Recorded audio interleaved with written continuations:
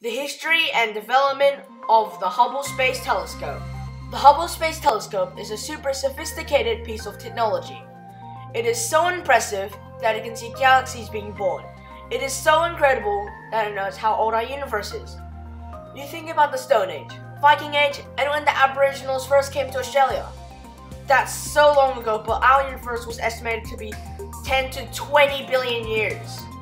However, thanks to the Hubble Space Telescope, we now know it is actually approximately 13 to 14 billion years old. Well, you might be thinking about the choice of name for this magnificent piece of work. The Hubble Space Telescope was named after the astronomer Edwin Powell Hubble, and he was the first person to find out that our universe is and all still expanding. The Hubble Space Telescope was the first space-based telescope. The Hubble Space Telescope has two mirrors multiple computers, and cameras to obtain the information about our galaxies, planets, and about space. NASA launched Hubble in 1990 and is still in space today.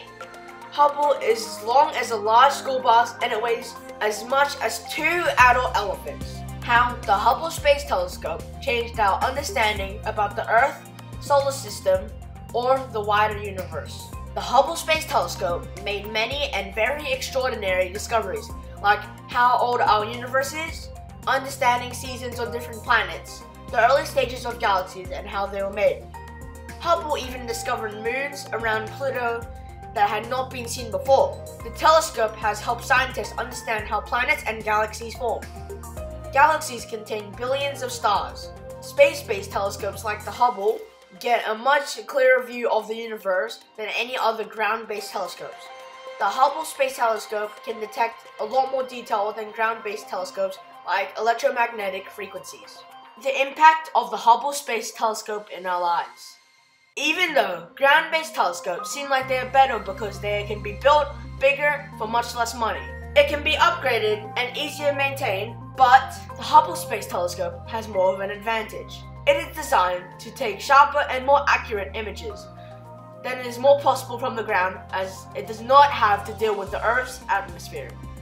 Of course, because it is in space, this advantage is extremely expensive, difficult, and slow to repair and maintain it.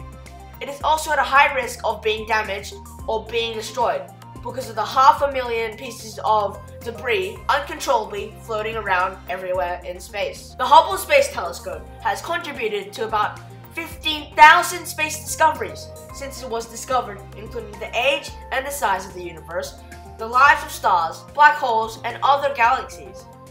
With time and more advancement, I believe a lot more discoveries will be done because of this magnificent technology.